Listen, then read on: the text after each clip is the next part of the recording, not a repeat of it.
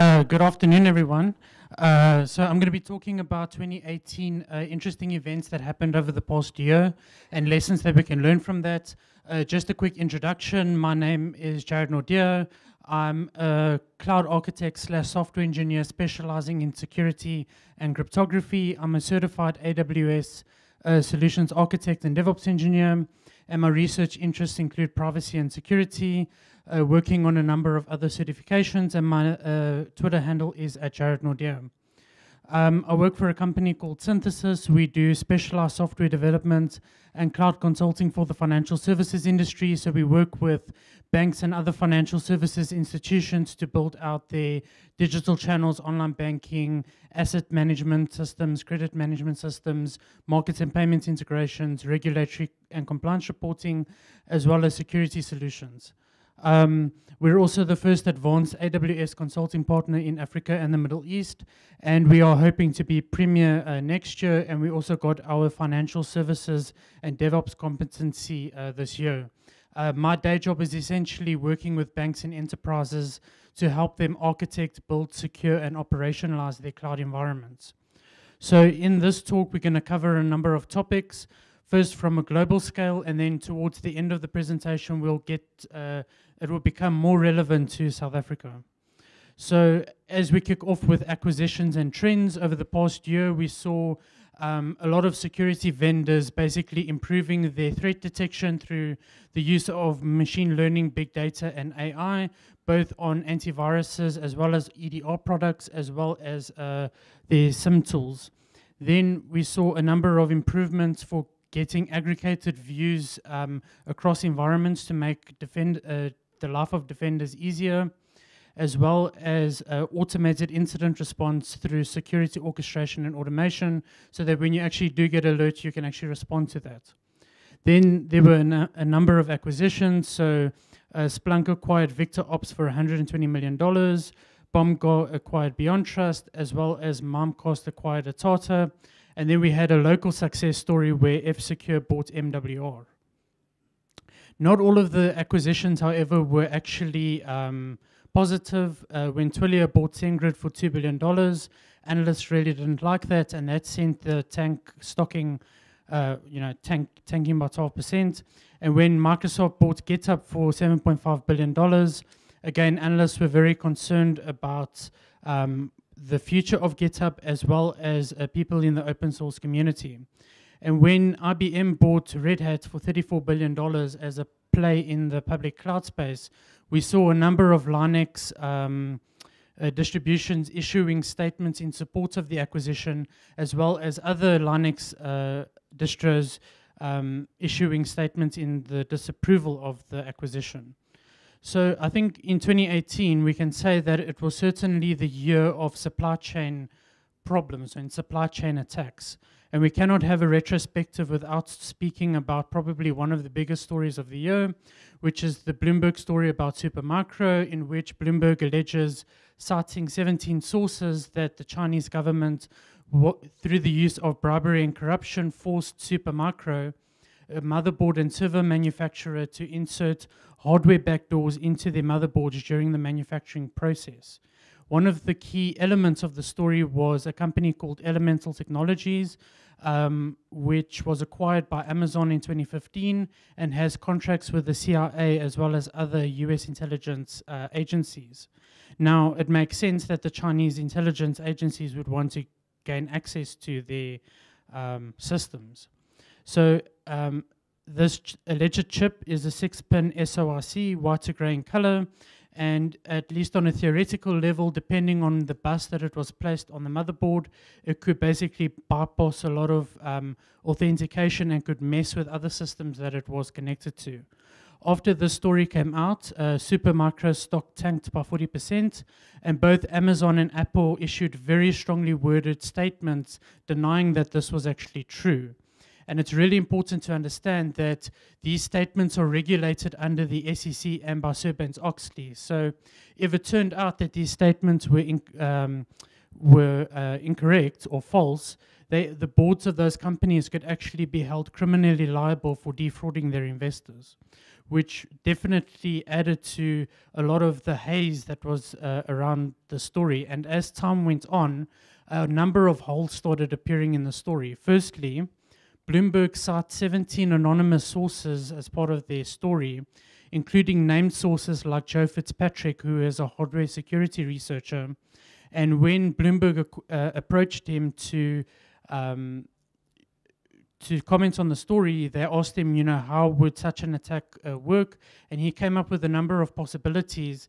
And it is very interesting that every single possibility that he came up with was actually confirmed by the sources, which is a major red flag.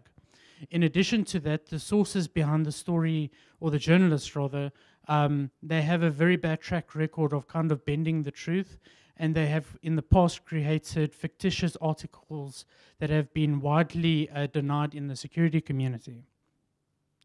And then there's also the question about the practicality of this attack, because if you wanted to uh, be able to break into systems on demand, it would probably be more practical to backdoor the firmware rather than trying to have a hardware backdoor implant. What was interesting after the story um, came out, there was this narrative in the US that we can't trust uh, China and uh, basically everybody should buy US uh, gear, which is very interesting because at roughly around the same time period, there was a ban on Huawei and ZTE equipment inside of um, America, Canada, Australia, and New Zealand. Um, and so three years ago, I published a paper um, looking at the Edward Snowden documents, and I basically made an argument in that paper that we in the security community can't look at um, intelligence agencies as, uh, you know, friends. We should view them as adversaries. And what we also saw in the Edward Snowden documents is that the NSA has their own catalog for hardware backdoor implants.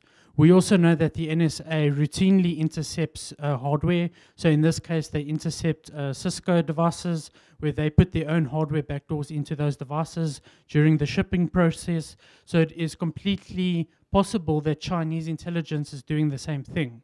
However, in conclusion, we can say that the story as reported by Bloomberg is a load of rubbish. There's a lot of facts that have been uh, disputed uh, by many sources, including the Department of Homeland Security and uh, UK intelligence. Um, however, I do think that there is more to the story than what is cu currently public. Then, staying in uh, uh, supply chain attacks, uh, Ticketmaster was breached earlier this year.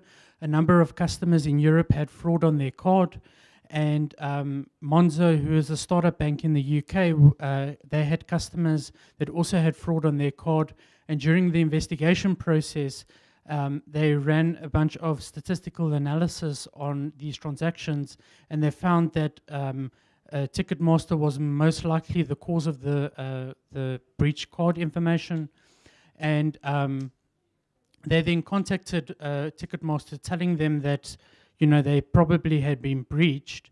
And Ticketmaster's response was basically, well, there hasn't been a breach, as opposed to we haven't found it yet.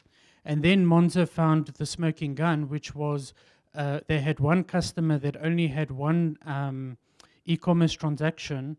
And when it was used on Ticketmaster, the, the transaction was declined because the expiry date was incorrect.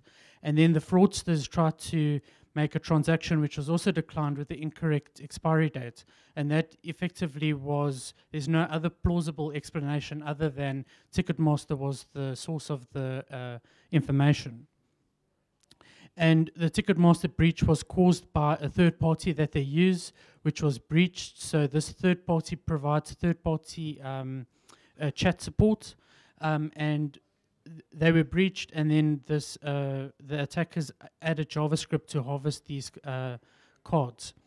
And the group that was behind this is MageCart. They hit a number of other um, companies, including British Airways, Newegg, and Feedify, including thousands of other smaller e-commerce um, uh, sites. We also saw the Browsealoud breach, which is a third-party service for accessibility, so people with hearing and visual impairments um, can use their software to basically read um, websites, and it is used by over 4,200 websites, including a lot of governments, including the US, the UK, Australian, and New Zealand, including many others. The question then arises how do we defend against these attacks? And there are basically three ways that we can do that. We can use sub resource integrity, where we create a SHA hash of the JavaScript and we add that as an attribute in our script tags so that when the browser loads the JavaScript, it will compare its hash to the hash that you have specified. If you do this, it's very important that you version your JavaScript because if you have some kind of automated process to create your JavaScript, um, this might actually break things. The other thing that you can do is you can use content security policies where you restrict which domains you load JavaScript from. What you can also do is um, you can uh, restrict which content types uh, are loaded. In addition to that, you can then actually send these violations to your own reporting infrastructure, or just to make things easier, you can use the service called Report URI that um, is actually very economical and it makes it easy to actually roll these things out. Then with the rise in pub, um, in the popularity of games like Fortnite and PUBG, over the past year there has been an explosion in online game cheating. So online game cheating is not really new. Um, about 10 years ago, uh, there were a number of black hat, uh, uh, sorry, DEF CON talks um, you know, addressing how you can actually cheat in online games by, by, by manipulating the uh, execution stack, memory pointers, and registry, you can do things like create bullets that appear from nowhere. You can have unlimited health, ammo, and um, um, resources. Uh, you can uh, jump around in the map. You can see through walls. You can shoot through walls, um, and you can do uh, those types of things. Now, because a lot of the processing is happening on the client side, it's actually very difficult to defend against this because um, a lot of online games, they the servers just basically act as traffic control for what's going on. So what uh, what a lot of uh, game companies have done is they've created very intrusive anti-cheating capabilities on uh, their clients, which have their own set of privacy problems. And um, people in China specifically are actually monetizing online game cheating by um, they will join you in a match. So if you are playing PUBG or Fortnite, they will make sure that your team wins. And when you have games like uh, Tom Clancy's The Division, where you have a leveling up system, they will join you in game and then help you level up faster. Then in May, uh, we had the enforcement of GDPR and uh, basically a massive amount of hysteria around it. Uh, kind of everybody lo lost their minds, including a lot of publishers. A number of websites closed down. And after we were bombarded, uh, sorry, after we were bombarded uh, with email about companies updating their privacy policies, a number of people outside the EU were basically, sorry, we're basically searching how we can block EU users from our websites. So there were a number of ways. One was using Cloudflare workers. The other one is basically using um, uh, SaaS as uh, SaaS services, which is basically JavaScript that you run on your website and it will block um, European citizens from visiting your uh, site. Um, what was also interesting is that a lot of websites, including the uh, USA Today, um, when they removed all of their tracking scripts to be compliant with GDPR, it actually reduced the no amount of bandwidth that you needed to load the website. So that actually resulted in a better experience for everybody. But a lot of this hysteria was misplaced because if you actually go read the GDPR legislation, it's not meant to be applied in a draconian way. It's actually somewhat forgiving, and it's only on your third strike is the maximum penalty actually due. Um, so a lot of the sites that closed down, while some of them were not compatible with GDPR completely due to how they handled data, a lot of them closed down without any, you know, real reason or valid reason, I should say. Um, so as we move on to vulnerabilities, uh, you know, 2018 had a lot of interesting vulnerabilities. I've just selected two that were personally interesting to me. Um, the first one was a vulnerability that Oracle published in October of last year, which was a vulnerability in WebLogic. In December of 2017, a Chinese security researcher published an exploit uh, to um, exploit this vulnerability. And then once it was released, it was basically turned into a mechanism to install crypto miners on uh, vulnerable systems. And one of the most vulnerable uh, or most impacted systems was um, uh, systems running PeopleSoft, which is a HR uh, middleware application. And uh, the attackers, by um, taking advantage of vulnerable PeopleSoft uh, systems, managed to mine over $250,000 in Monero. Um, and basically, how the vulnerability worked is attackers would uh, exploit a system, kill any other miners that were running on the system, and then create a cron job to constantly download the miner and run it. Then the other interesting malware was the VPN fil filter malware, which took advantage of um, a firmware vulnerability running in ASUS, D-Link, Huawei, Ubiquiti, and a number of others. Um, millions of devices were actually affected by this, and uh, the malware was a multi-stage uh, payload. So the first stage um, uh, created persistence, which is actually unique because a lot of malware that affects IoT devices, um, when the device is rebooted, um, the malware is not persistent. The second stage then went to go download the actual um, payload that would intercept your HTTPS connections to get credentials. Once it had those credentials, it would then send that to a command and control server. And then the third stage basically added additional functionality, including uh, the communication over Tor, um, as well as a number of other features. And when this happened, I went to go set up my own set of honeypots um, to look at what was going on. I saw a lot of traffic from Russia, um, the Ukraine, Brazil, and Egypt, as well as some other countries. And what was most interesting is that in on my honeypots that I was running, I found three unique groups of attackers. And on a random basis, but between three and 10 minutes, another attacker would exploit the vulnerability wipe the malware of the previous attacker and then install their own version. And this went on the whole day and basically the whole week that I was running these honeypots. Then as we move on to HTTPS and encryption, so earlier this year we had a new version of PCI DSS, which mandated the use of TLS 1.1 by the 30th of June, uh, as well as additional requirements for multi-factor authentication.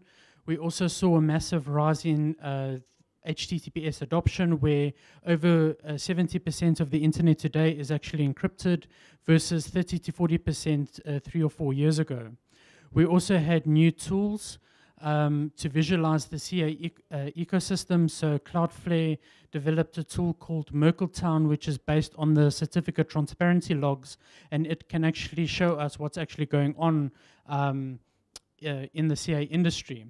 We know that uh, about 700,000 certificates are being issued per day. The majority of that comes from uh, Let's Encrypt and um, uh, elliptic curve uh, cryptography certificates are still in the minority. I think primarily because um, a lot of services, especially cloud services, do not support elliptic curve yet.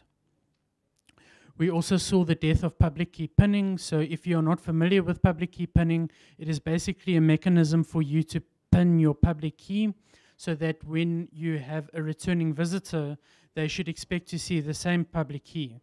The problem with this is, is that um, on systems where it is deployed or even systems where it is not deployed, if an attacker gets into your system, they can turn on this feature or actually delete your certificate and create a new one, basically creating a massive denial of service uh, attack. And a number of companies were actually affected by this. And both Mozilla and Google kind of had to, you know, bail them out uh, through an emergency patch. Um, and so this is actually going to be deprecated or has been deprecated in uh, a lot of the major browsers. Um, we also saw distrust for Symantec uh, coming into force this year. So due to uh, Symantec's bad behavior over the past year, few years, uh, Google decided uh, to uh, distrust them. Symantec then sold their CA business to DigiCert for a billion dollars, and that then led into the next incident, uh, which was the Trustico incident. Um, so Trustico is a reseller of um, uh, certificates or Symantec certificates, which was now owned by DigiCert, and they wanted to move all of their customers away from Symantec over to Comodo. And in a pure money grab, the CEO then emailed DigiCert to revoke all of these certificates, and DigiCert refused because customers should uh, revoke their own certificates. And then the CEO emailed 23,000 private keys to DigiCert, and under the CA forum rules, DigiCert had to revoke them, which they did in four hours. Like, good job, guys. Um, and this, and a, a, lot of people actually had uh, outages due to this because uh, you can imagine, you know, if your certificate has been revoked and you don't know about it, and your customers try and connect and they are verifying whether your certificate has been revoked or not, that won't work. Um, it was also then came out that uh, Trustico was generating all of uh, their customer certificates and storing the private keys on their own infrastructure with no protection, no encryption, no uh, encrypted data uh, stores, um, no use of hardware security modules, nothing like that. They were also vulnerable to both SQL and command injection on their website. Um, so you could actually just go through their websites and get all of those private keys. And we in the security community cannot allow such reckless and irresponsible behavior. We in the community need to hold these types of resellers and uh, CAs accountable for their actions. And this speaks to larger issues in the um, CA community. So um, Comodo uh, CA was acquired by Francisco Partners, which is a private equity firm which also owns the NSO Malware Group. So the NSO Malware Group basically creates uh, malware for governments, and I think it's very problematic that a private equity company owns both a company that does, uh, who is a certificates authority, as well as a company that, that creates malware. Then, with the uh, increasing um, development of quantum uh, computers, uh, NIST created a call for papers, basically asking people to um, submit uh, uh, papers for new quantum resistant algorithms. And uh, in this, in 2018, we entered the analysis phase. So these algorithms have been created and now they are being assessed to see if they have any weaknesses. What is very interesting, though, is that there's this trend that has emerged to mix strong AES encryption with quantum resistant algorithms. And one of the companies that is doing that is a company called Senetas, which is an Australian company that makes layer two line encryptors. And I think the trend of mixing AES with quantum resistant uh, cryptography algorithms is actually uh, uh, is quite cool. Um, then uh, TLS 1.3 was approved by the Internet Engineering Task Force, um, and it replaces TLS 1.2. And a number of uh, features were removed from TLS 1.3, basically all of the bad stuff, um, RC4, SH1, MD5 renegotiation, and then a number of features were added to TLS 1.3, including downgrade protection and perfect forward secrecy. Um, we also uh, get a massive speed improvement. So TLS 1.2 has two round trips in the key negotiation process, whereas um, with TLS 1.3 we only have one round trip, which uh, speeds uh, key negotiation up quite dramatically. TLS also has um, a new feature called zero uh, trip resumption, which allows a client that has already connected to your website to connect again without having to negotiate keys. Now, there is a problem with this, and that is that if an attacker manages to um, capture the session information, they can basically create a replay attack against the uh, infrastructure. So this uh, feature isn't enabled by default for obvious reasons, but if you do use it for GET requests, it should be uh, quite sufficient. Um, so one of the big uh, controversies of TLS 1.3 is the middle box problem. So that's WAFs, load balancers, and proxies. So a client connects to uh, a website, they go through a proxy uh, or any other middle box, and then um, that would respond, um, um you know, I, I support TLS 1.2 1.2, and then in an additional security header, it will say, hey, do you support TLS 1.3? And then um, if the client supports TLS 1.3, we'll open a new TLS 1.3 connection, and because most proxies don't support it, it will actually break. Now, because proxies um, cannot intercept TLS 1.3 because it has perfect forward secrecy, this becomes a very big problem for enterprises that rely on TLS interception devices. So the only way you can make this work with a, a, proxy is basically you have to terminate the connection on the proxy and then create a new connection from the proxy to whatever site that you are going to uh, go to. But that has drastic performance problems for the proxies that enterprises currently have.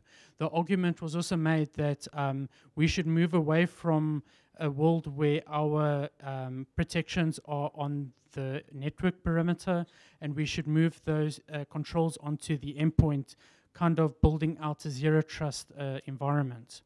And I also predict in the next 18 months, we're actually going to see a massive security incident related to TLS 1.3 because it is so different from the other versions.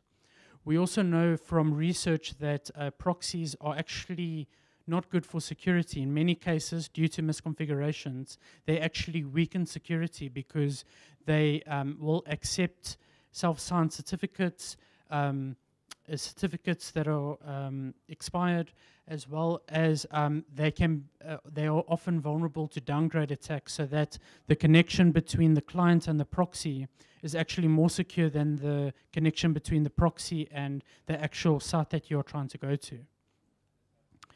Then moving along to BGP hijacking. So um, BGP hijacking is not uh, something that is uh, new. Um, you know, we saw the first incident in 1997, but over the past year, we've seen uh, over 17,000 incidents re relating to problems with BGP.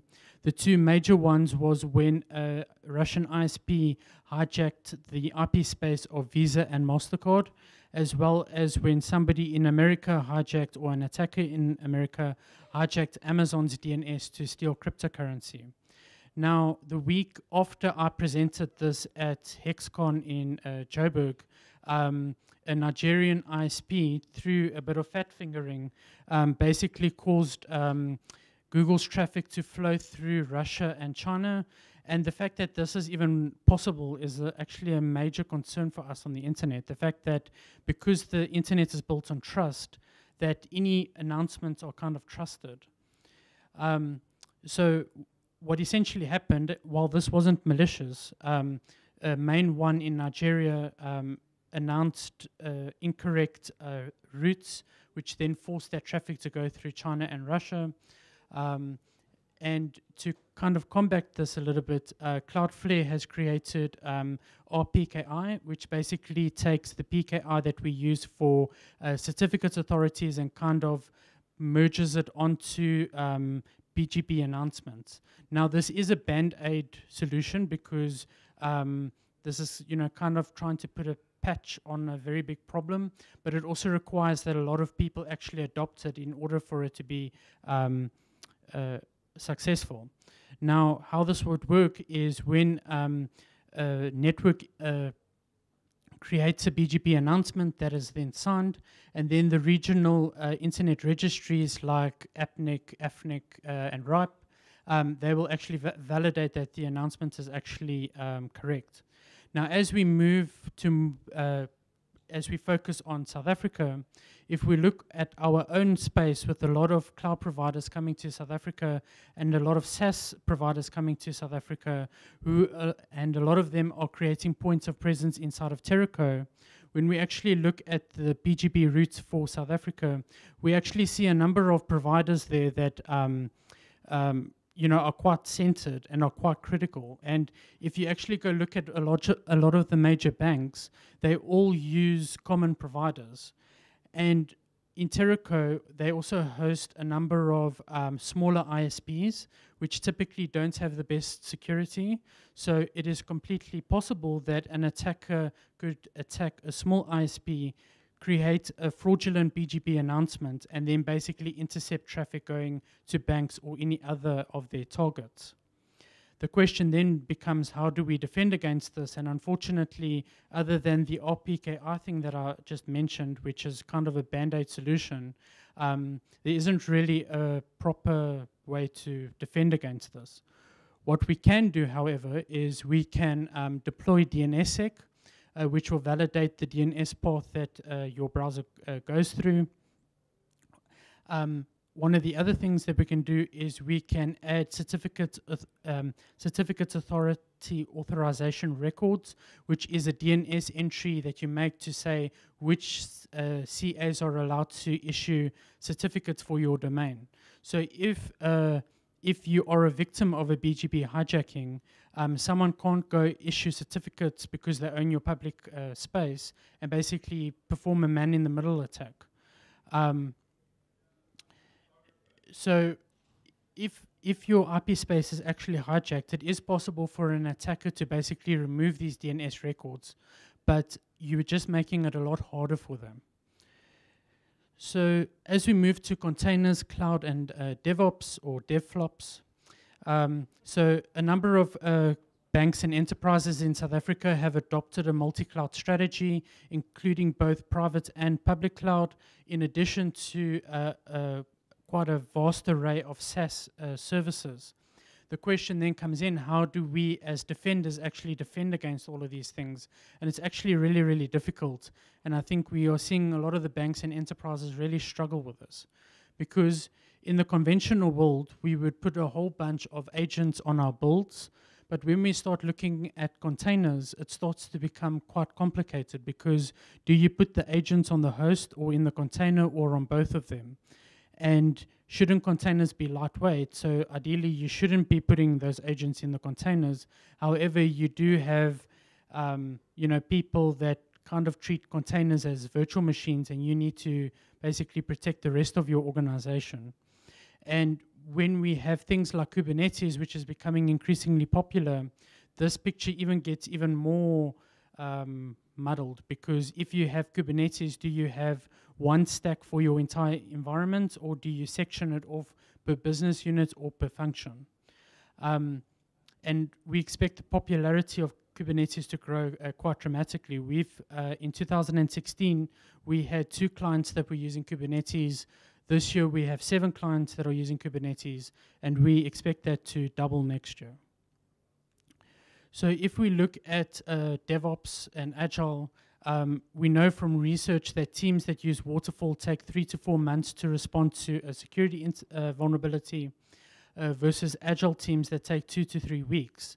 However, enterprises and organizations that are actually using DevOps today are actually less secure than the, um, the organizations that are not using it. And the question comes in, why is this the case? And fundamentally, it comes down to foundational problems. Um, organizations are not putting in the foundations of their DevOps tooling correctly, and they are baking in security as an afterthought. A lot of them are practicing Wagile, which is basically agile that's basically waterfall. So they have stand-up meetings with a Kanban board, and now they're doing agile, but they really are not doing agile. Um, and then a lot of them um, a lot of operation teams in organizations, they're basically the firefighters for the organization. So they constantly have fires burning in their organization that they deal with instead of actually spending time and actually putting in fire prevention, uh, you know, as a metaphor. Um, one of the other problems is a problem uh, regarding enterprise architecture. So there is often a big debate in organizations as to who should own the DevOps tooling inside an organization. So in closing, a lot of organizations, they want to use cloud, they want to use DevOps and all of the good things that it can bring, but a lot of them don't think of the foundations that they need to put in place, as well as the journey that they need to take their organizations through. And on that note, that is the end of my presentation. Thank you very much.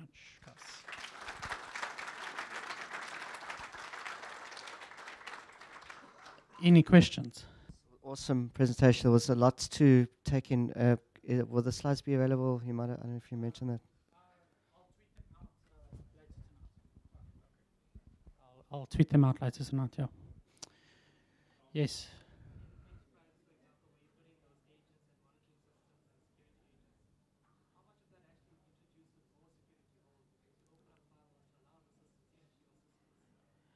Um, so that is certainly possible. At, in my experience, I haven't found that to be the problem. In my experience, I've found um, that often um, when they put those tools in, they can't uh, often operationalize those tools. That is actually the kind of bigger problem that I found personally.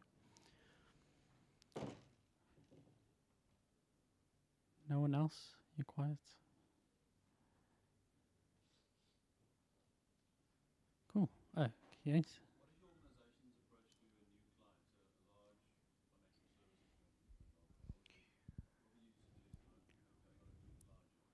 Um, so in the past, we used to be very, um, uh, you know, we used to be very open to ideas.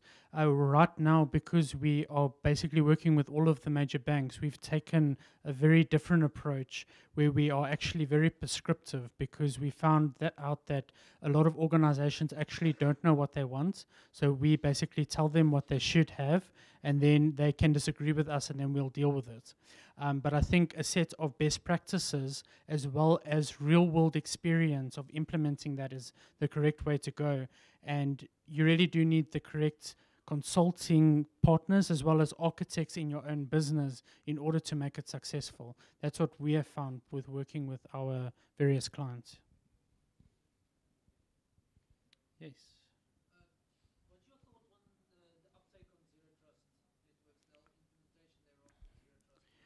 Um, so I think it's a very good idea. Um, cloud technology, which is where I mostly spend most of my time, it makes it very easy to do that. Um, I've seen a number of banks in South Africa. There's three banks that are trying to do zero trust at the moment. One of the problems that they are finding is that because of all of their legacy environments, it's actually difficult to know what talks to everything. And in order to do zero trust properly, you actually need a number of capabilities which they don't have. And fundamentally, a lot of the problems actually comes down to um, you have political or politics in organizations that basically block the rollout of this because uh, of the fear that it might break stuff. And what we've also found, uh, and uh, again, the operationalization of of of zero trust, because you know if you isolate everything through network access control, um, you you know you might break stuff and then you need a team that actually deals with those incidents and basically restores uh, functionality. So what's very complicated is um, especially at banks on their core banking systems they uh, systems may only talk to other systems once every three months or once every six months. So even if you have monitoring um, you might not be 100% certain that you know your data and traffic flows. Um, so it's quite a it's a difficult problem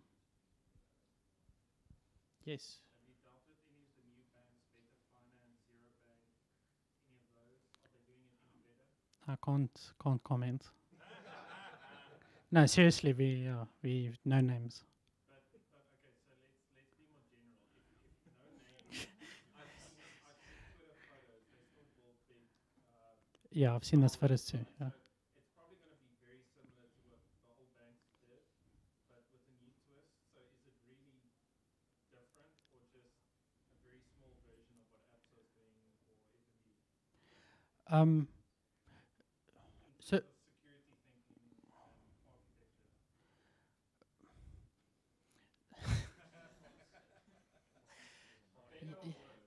um, yeah, it's difficult. Uh, let me answer your question this way, and I understand I'm not actually answering your question. So, um, uh, one of the problems with cloud is that uh, core banking uh, applications are not going to be moving to cloud anytime soon, right? There's always going to need be a need for low latency hardware on premise.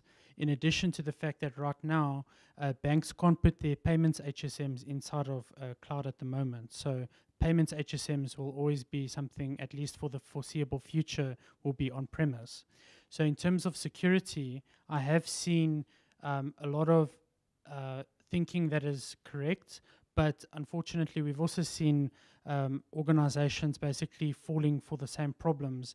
So, one of the new banks, uh, we've seen that they are falling into the same um, politics, uh, bad communication, um, uh, you know, uh, aspects that larger enterprises have. Um, Yeah, I know. Sorry.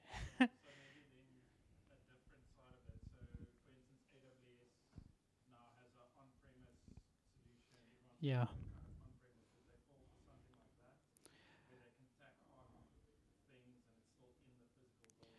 So, so, so, so my feeling about Outposts is that I actually think it sends the wrong messages to enterprises. Um, I can tell you that there are five bank, no, sorry, three banks in South Africa that are using Azure Stack, and all of them hate it because um, the the architecture when you run stuff on premise is very different to how you would do it on um, actually on Azure. Uh, one of the big problems is is when you do when you have automation that joins instances to a domain, and uh, depending how you architect Azure Stack, that actually becomes very very very difficult. Um, so I guess they would probably do that, but I'm not a fan of of that. I under also understand that there may be enterprises that need stuff on premise, and maybe that is the whole with the view that they should move to like proper public cloud in the future. Yes.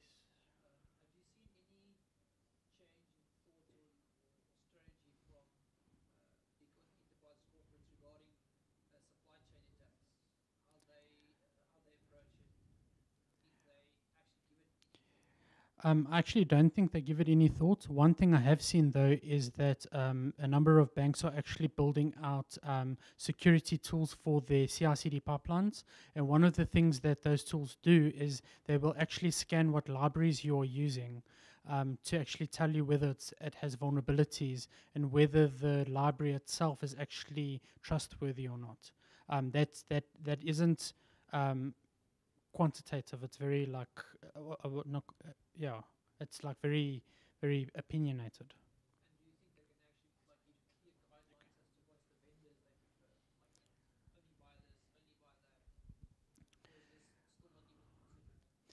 Um, there are some vendors that they like, but there isn't like formal. I haven't seen formal like thou shalt buy this. Yeah. Uh, okay, last question.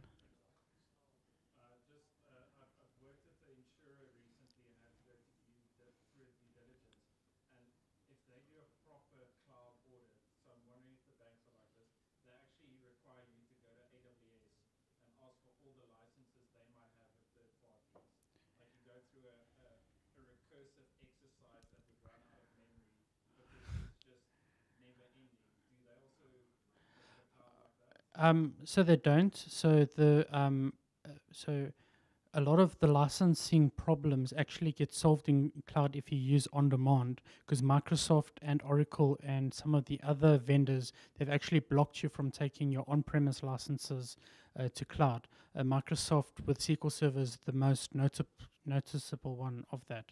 Um, uh, I guess what the other people are doing is they're actually using um, SaaS software like Flexera and putting agents on all of the infrastructure to basically report all of that.